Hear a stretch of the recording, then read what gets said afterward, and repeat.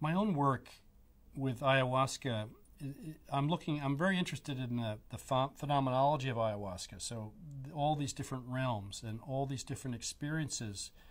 It's quite a complex undertaking to to